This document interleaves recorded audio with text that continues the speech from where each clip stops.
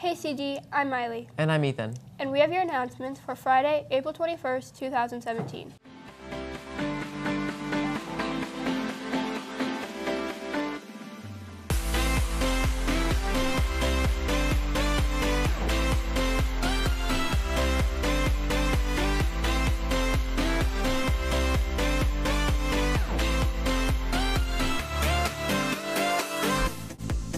Tryout clinic for the CGHS varsity dance team is tonight from 5 to 9 p.m. in the West Gym.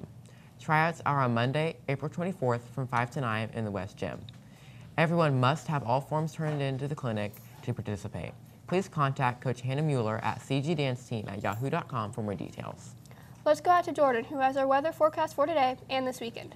Jordan? Hey CG, right now it's about 50 degrees, but by the end of the day it'll be about 60 and cloudy.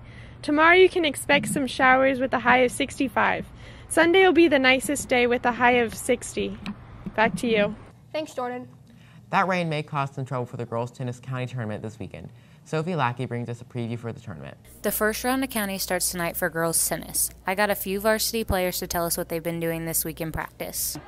Um, this past week we've been practicing really hard and playing some tough matches to get us ready for to win the county championship. Emily and I have prepared for county by just working on our communication since we play doubles and just coming up with different strategies on how to beat people at the net. We've also been working on taking charge at the net and poaching when we can. We've played all the best teams in the state, so we're all really looking forward to playing county because we're feeling pretty good about how we'll play this year. We're ranked number three in the um, state right now, so going into county, we have a pretty strong presence, and we just want to get past that, where we have practice basically every day.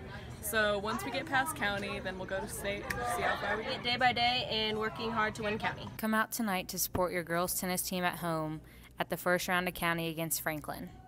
Thanks, Sophie. Center Grove will be hosting AIC again this year on Thursday, April 27th from 6 to 8 p.m. AIC is an event that shows different destructive choices and their possible outcomes. It's a 15 minute tour through different scenarios with a mock car crash at the end. You could receive extra credit in some of your classes just for coming. Hope to see you there. Next week is Financial Literacy Week. Jordan Chacomas and Miley Grounds have a, week, a video for us about next week's event.